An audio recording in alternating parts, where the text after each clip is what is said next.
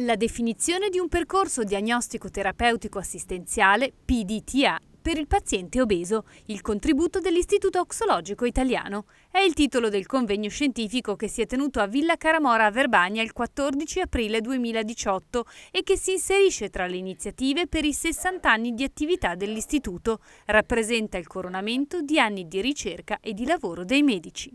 Oxologico è un istituto di ricovero e cura a carattere scientifico ed è l'unico istituto italiano che ha nel proprio ambito di riconoscimento la patologia endocrino-metabolica, tra cui l'obesità è una delle principali malattie.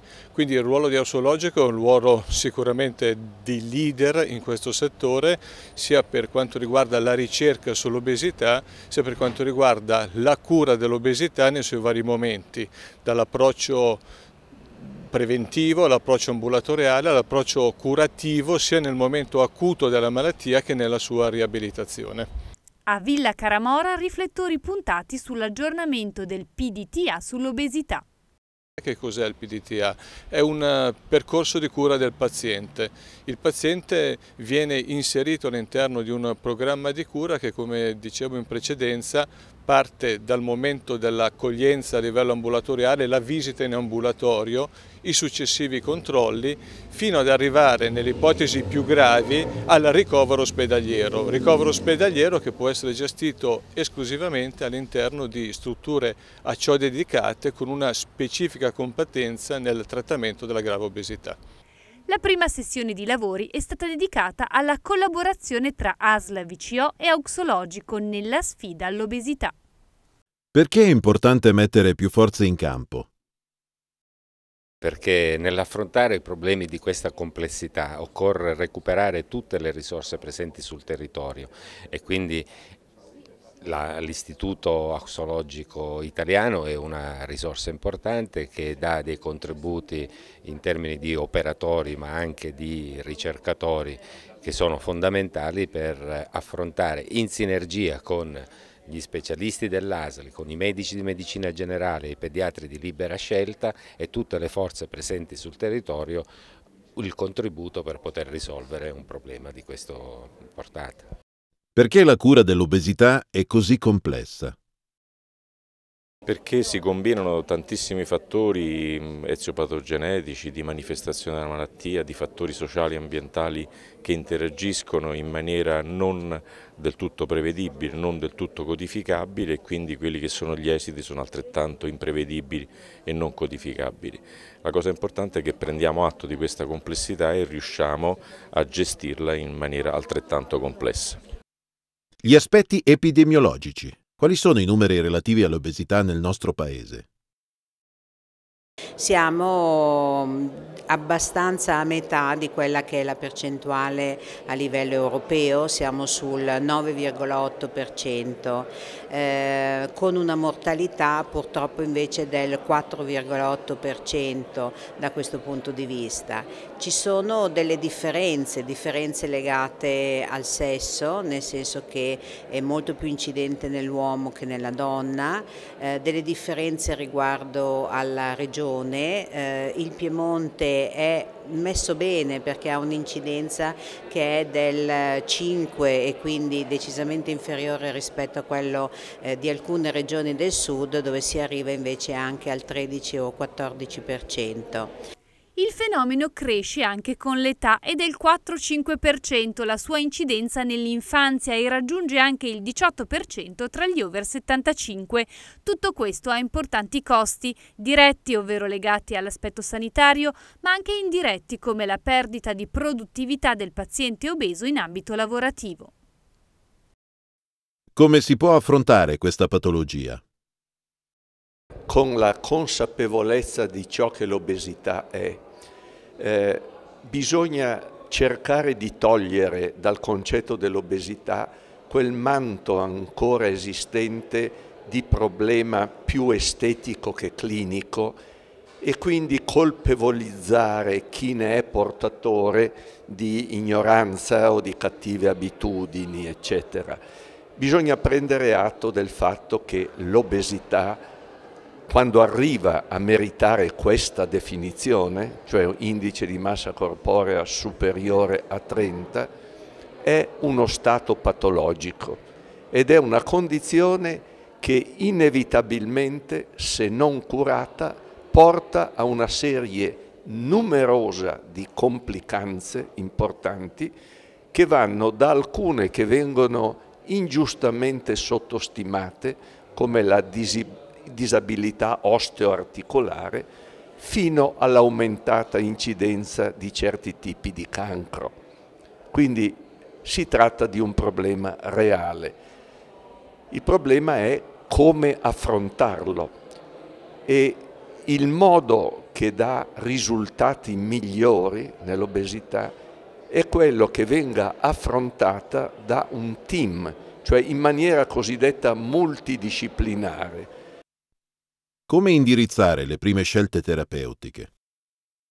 Il BMI è l'indice più utilizzato al mondo per la prima valutazione di screening della malattia, ma non può essere sufficiente per eh, dirimere le scelte terapeutiche eh, nel, in questa patologia complessa. Sempre di più si usa questo algoritmo che mette, che mette in relazione BMI, età del paziente, e, e, stadiazione della malattia a seconda della presenza o meno di ehm, fattori di rischio legati all'obesità, comorbidità di tipo eh, metabolico, organico, eh, psicopatologico o funzionale. La giornata di lavori a Verbagna è proseguita con l'inquadramento e la gestione del paziente obeso nella sua complessità, persone che devono affrontare anche una riduzione nella qualità della vita con inevitabili ripercussioni pure di carattere psicologico. Quali sono le complicanze per questi malati? Sono tante, spesso noi diciamo che il paziente obeso è come un libro di testo eh, di clinica medica perché le complicanze interessano praticamente tutti gli apparati, riguardano l'apparato cardiovascolare, riguardano l'apparato respiratorio, quindi complicanze importanti, fattori di rischio e quindi eh, che determinano una maggior mortalità nel tempo. Dall'altra parte esistono invece anche complicanze che sono di tipo soprattutto ortopedico e queste complicanze diventando gravi possono portare invece a importante disabilità. Quindi sono complicanze da un lato che mettono a rischio la sopravvivenza del paziente, cioè accorciano la sopravvivenza del paziente, e dall'altra invece che mettono gravemente a rischio la possibilità di condurre la normale vita quotidiana. Qual è il modello di cura dell'Istituto Auxologico Italiano? Abbiamo messo a punto un sistema complesso che eh, implica dei setting di cura di diverso livello a seconda della complicanza del paziente, del numero di malattie associate che ha un livello è soltanto ambulatoriale, uno è di riabilitazione semiresidenziale con dei percorsi di tre mesi con un team multidisciplinare che segue il paziente eh, a Milano e un setting di riabilitazione residenziale all'ospedale San Giuseppe a Piancavallo. Poi disponiamo di una chirurgia bariatrica e quindi eh, ci sono illustrati nel percorso di cura diagnostico e cura del paziente eh, obeso a quale caratteristiche deve avere il paziente per essere indirizzato a un percorso piuttosto che a un altro, sono tutti molto collegati perché anche dopo i ricoveri o le riabilitazioni i pazienti tornano all'ambulatorio e il team ha identificato degli indicatori comuni in modo da poter monitorare nel tempo se quello che sta facendo è efficace. L'ultima parte del convegno è stata dedicata all'auxologico di Piancavallo, centro d'eccellenza per la cura dell'obesità grave noto a livello nazionale, situato sulle alture del Lago Maggiore. Ha approfondito il tema dell'approccio integrato multidisciplinare alla riabilitazione in regime di ricovero, dalla presa in carico alla misurazione degli esiti. Perché occorre un lavoro a mosaico per questi pazienti? Perché l'obesità è una patologia cronica che ha tantissime sfaccettature, tantissimi aspetti, quindi per essere curata in maniera efficace occorre mettere assieme tutte le competenze, da un punto di vista medico-internistico, medico-ortopedico, medico-fisiatrico, tutti i vari specialisti, pneumologo, cardiologo, psichiatra, le componenti psicologiche che sono estremamente importanti, quelle nutrizionali, quindi il ruolo dei dietisti, il ruolo dei preparatori motori, il ruolo dei fisioterapisti, però tutte queste parti devono dialogare tra loro, non è sufficiente che ciascuno veda il paziente, ma poi alla fine bisogna arrivare ad una sintesi e un progetto di cura. Quali conseguenze produce l'obesità sull'apparato cardiocircolatorio?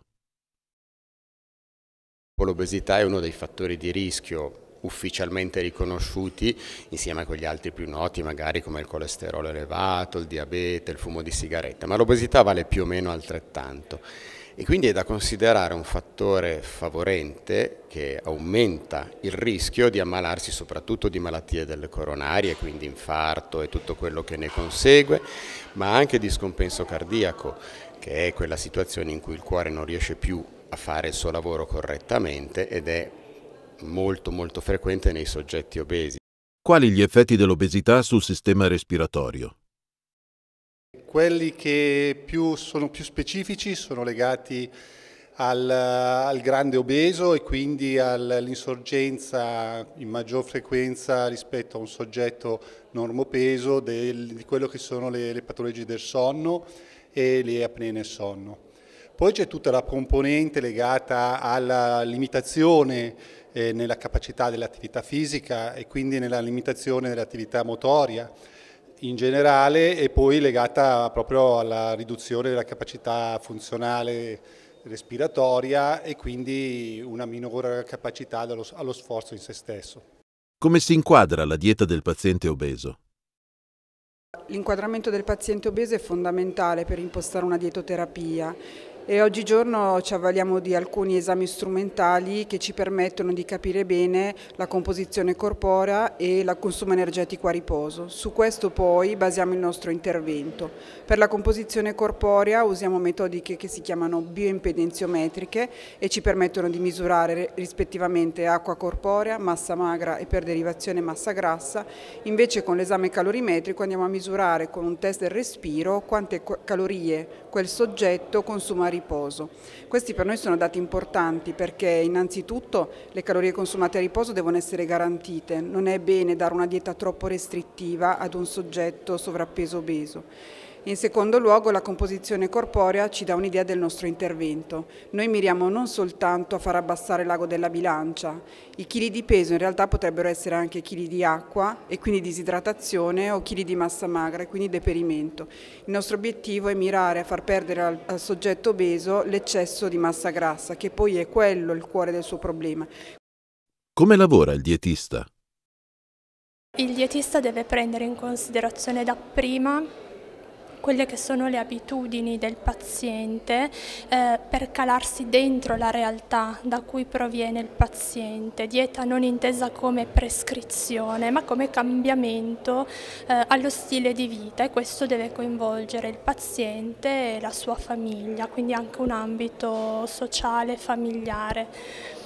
Eh, la dieta sicuramente ipocalorica per permettere il calo di peso e poi una serie di riabilitazione eh, comportamentale educativa che mm, miri a potenziare eh, i punti di forza del paziente e anche implementare le sue conoscenze teoriche eh, sulla nutrizione. Qual è il ruolo dell'area motoria? L'area motoria è uno dei pilastri del programma riabilitativo multidisciplinare. Bisogna ricordare che il paziente obeso è un paziente sia cronico che disabile, ha una duplice eh, veste eh, e questo diciamo, giustifica in qualche modo la presenza nell'istituto di un servizio eh, di fisioterapia appunto, ma anche di attività motoria adattata, proprio perché quest'ultima attività deve contrastare gli effetti dell'obesità, che è una patologia cronica con degli effetti deleteri, mentre la parte di fisioterapia diciamo, specialistica serve a contrastare eh, gli effetti delle patologie ortopediche, cardiorespiratorie, neurologiche che frequentemente questi pazienti hanno. Quanto conta invece l'aspetto psicologico?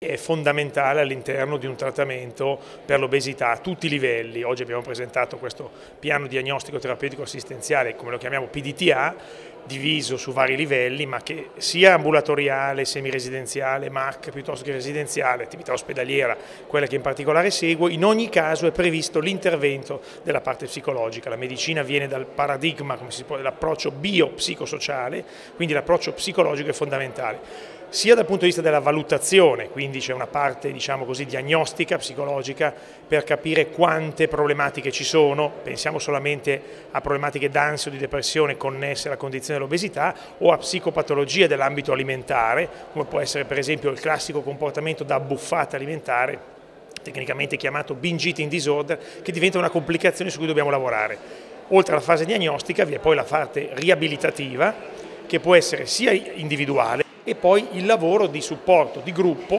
Come avviene e quali risultati produce la misurazione degli esiti? Gli esiti in riabilitazione sono fondamentali per dare una evidenza quantitativa quella che è la riabilitazione. Quindi è importante avere degli esiti che siano eh, rappresentativi di diverse aree. Nel nostro caso specifico della riabilitazione della grande obesità è importante avere un'idea di miglioramento sugli aspetti metabolici, sugli aspetti motori, sulla qualità della vita, quindi sugli aspetti psicologici, sulla, ehm, sulle necessità assistenziali che derivano da valutazioni di tipo infermieristico e poi sicuramente un altro aspetto importante è la valutazione globale di quello che è il cambiamento che avviene durante la degenza. Che cos'è il follow-up ambulatoriale? Il follow-up è un modo per poter seguire i pazienti o una volta che, so, che, noi li abbiamo gestiti, che sono stati visti magari in regime di ricovero o regime di macroattività ambulatoriale complessa. Una volta che il paziente è stato dimesso deve essere riavviato ovviamente al medico di medicina generale, ma il nostro istituto per esempio può eh, dare una mano prevedendo eh, dei periodici controlli che sono dei controlli ambulatoriali essenzialmente. Il convegno è stato organizzato da Istituto Auxologico Italiano in collaborazione con ASL VCO, Ordine dei Medici del VCO e Regione Piemonte ed è stato patrocinato dalle principali associazioni mediche che si occupano di obesità. L'evento, importante momento formativo ECM per gli addetti ai lavori, si inserisce nell'attività di ricerca di auxologico che caratterizza gli istituti di ricovero e cura a carattere scientifico, attività che va di pari passo con la continua innovazione strutturale nelle diverse sedi di cura. L'Istituto Ossologico di Piancavallo è una realtà di rilevanza nazionale sia dal punto di vista della ricerca scientifica sul tema dell'obesità che per le prestazioni sanitarie che offre a tanti pazienti che soffrono di questa malattia eh, in tutta Italia. Eh, da 60 anni la sua presenza nel nostro territorio, l'auspicio che possa anche estendere eh, i suoi servizi e l'apprezzamento per oggi perché riesce comunque a dare il senso di un lavoro di ricerca essenziale su un tema che è molto di attualità nel nostro Paese.